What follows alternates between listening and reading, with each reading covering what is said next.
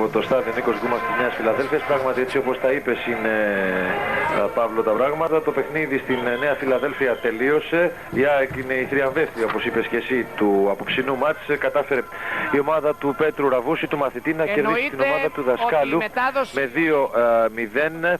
Ε, με γκολ που πέτυχαν στο πρώτο α, ημίχρονο ο Νικολαίδης, ο Ντέμις Νικολαίδης και ένα δεύτερο γκολ που ήρθε στο δεύτερο ημίχρονο και επισφράγισε τη μεγάλη αυτή νίκη της ΑΕΚ από τον Χρήστο Κωστή. Να πούμε ότι η ΑΕΚ ήταν καλύτερη από τον Ολυμπιακό και στα δύο ημίχρονα. Έχασε μεγαλύτερες ευκαιρίες, είχε σαν κορυφαίου παίχτες τον Κετσπάγια, τον Μπατίστα, αλλά δεν υστέρησε και κανένας υπόλοιπος παίχτης από τους παίχτες του Πέτρου Ραβούση. Ο Ντούσαν Μπάγκεβιτς έκανε κάποιες αλλαγές στο δεύτερο ημίχρονο, προσπάθησε να περάσει τον Κόνιας στη θέση του Γεωργάτου για να μπορέσει να χτυπήσεις το παιχνίδι. Αυτή η αλλαγή βέβαια έγινε μετά α, το 2-0 όταν όλα είχαν εκρηθεί. Ο Ολυμπιακός που δεν ήταν Ολυμπιακός των προηγουμένων εμφανίσεων στα προηγούμενα μάτια που είχε παίξει. Α, η ΑΕΚ κυριάρχησε ολοκληρωτικά στο παιχνίδι. Ήταν αυτή που είχε απόλυτα τον έλεγχο του αγώνα.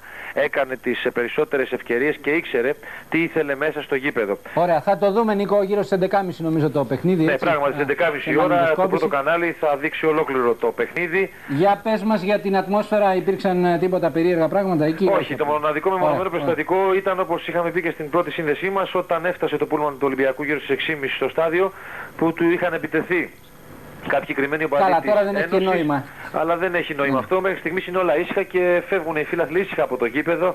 Αυτό Ωραία. το πολύ συζητημένο ντέρμπι κύλησε πολύ ήρεμα και έχει περάσει πια στην ιστορία. Καλό βράδυ στον Νίκο Οικονομόπουλο. Καλησπέρα στην Άννα Καραμαλή. Καλησπέρα. Α, είπαν ότι το παιχνίδι θα το έχουμε την ευκαιρία να το δούμε σε μαγνητοσκόπηση. Στις έτσι. 11.30 το Α, βράδυ. τι άλλη ειδησιογραφία έχουμε γιατί πιέζει ο χρόνος. Ε, πρέπει να δούμε πρώτα τα γκολ, δεν έχουμε δει το δεύτερο Να γκολ το του δούμε. Χρήστου Κωστή. Ωραία.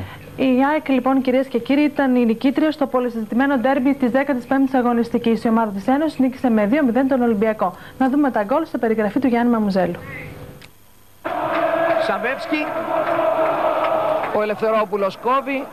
Μαλαδένης γυρίζει την μπάλα. Προσπαθεί ο Νικολαίδης. ε, Η μπάλα κοντράρει να δούμε. Μα κάνει το σούτο Μαλαδένης. Πολλά σώματα και είναι το 1-0 για την ΑΕΚ από τον ε, Νικολαίδη ακριβώς στο 43ο λεπτό. Και εδώ η φάση. Η πρώτη κεφαλιά προσπάθησε να γίνει το σούτ στον αέρα. Απέκρουσε ο Καρασαβίδης με τον Ταμπίζα. Η μπάλα κοντράρισε. Κοιτάξτε τι γίνεται και τελικά ο Νικολαίδης τη στέλνει στα δίχτυα. Μπατίστα από μακριά το σουτ πάνω στον Κωστή. Η μπάλα να δούμε. Τελικά έρχεται ο Κετσπάγια μέσα στην περιοχή να μπει. Μπαίνει ο Κετσπάγια με στην περιοχή. Κάνει το σουτ. Η μπάλα δεν θα πάει στο τέρμα. Θα πάει τώρα για το 2-0 από τον ε, Χρήστο Κωστή. Κοιτάξτε εδώ. Το σουτ.